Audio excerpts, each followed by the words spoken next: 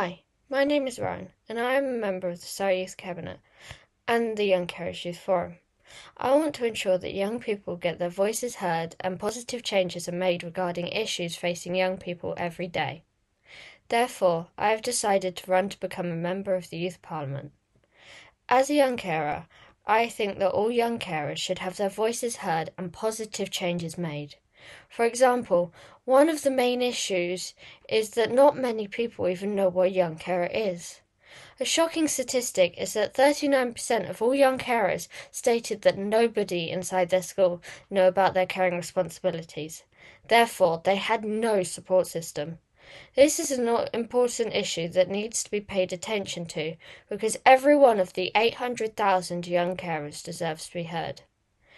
As part of the Young Carers Youth Forum, I have worked on campaigns to promote the rights of a young carer and how to teach them there is help out there. As part of these campaigns, we have created resources to spread information and awareness. Along with this, I feel that there are needs to be more disability awareness to destigmatize and inform people of what it means to have a disability. This will help combat the feelings of loneliness and hopelessness that are experienced by too many young people in these circumstances.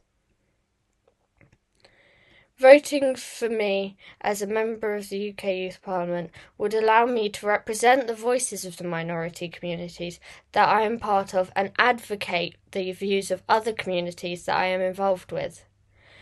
I would then ensure that positive changes were made with these voices to benefit young people. Thank you for reading my manifesto, and I hope I can count on your vote.